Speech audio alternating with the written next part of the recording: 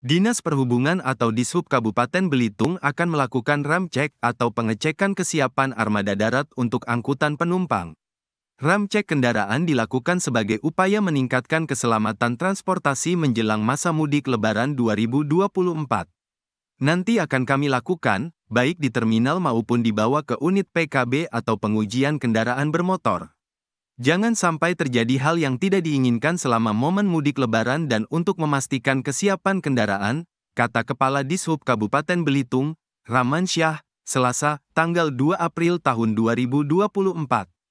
Evaluasi terkait kelayakan operasional kendaraan tersebut, di antaranya memeriksa kondisi ban, spion, klakson, dan piranti lunak yang harus ada. Sebagai informasi, ada delapan armada angkutan umum antar kabupaten yang melayani angkutan penumpang di terminal. Di samping itu, Ramansyah mengatakan, secara umum kesiapan pemantauan mudik lebaran 2024 sudah siap. Dishub Kabupaten Belitung pun akan mendirikan dua posko, yakni di Terminal Jalan Gegedek dan Pelabuhan Tanjung Ru. Posko ini memantau arus mudik penumpang dan memastikan berlangsung lancar terkait kegiatan masyarakat untuk mudik lebaran, jelasnya.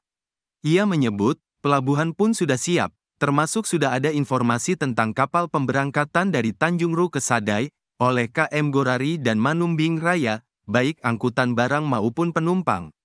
Selain itu, juga ada kapal lawit yang melayani rute Jakarta Tanjung Pandan Pontianak.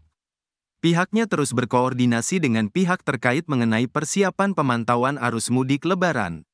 Satlantas ada posko untuk mengatur lonjakan arus penumpang dan mulai bergerak H-7.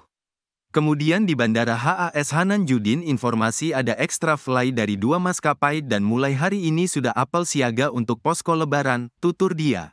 Download Tribun X sekarang. Menghadirkan lokal menjadi Indonesia.